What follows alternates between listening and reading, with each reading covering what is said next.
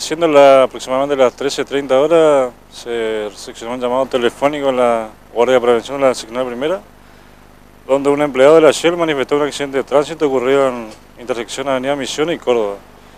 Cuando llegó la comisión policial al lugar, constató el hecho donde una Ford Ranger de color gris, el dominio HRJ 609 de la empresa del Yuti, conducido por una persona de sexo masculino de nombre Segovia Aldo, de 32 años. Según manifestó el mismo, había dejado el vehículo sin freno en mano.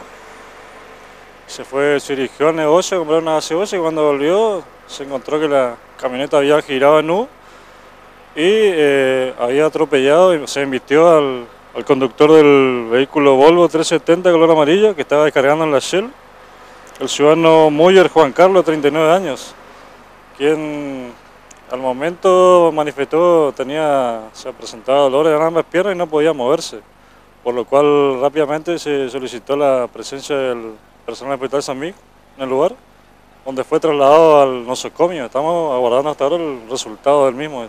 El conductor del camión estaba parado haciendo algún trabajo en el camión, ya que estaban descargando combustible, y la camioneta sin control, no con el conductor a bordo, se lo llevó por delante. por delante. El conductor del rodado mayor estaba de espalda y cuando, cuando se percató tenía encima la, el rodado menor. La camioneta había quedado estacionada sobre la avenida Córdoba, en esta avenida que tiene una pequeña pendiente. Sí, sí. Y según el conductor se había olvidado de de colocar el freno en mano y cuando se percató estaba encima el otro conductor.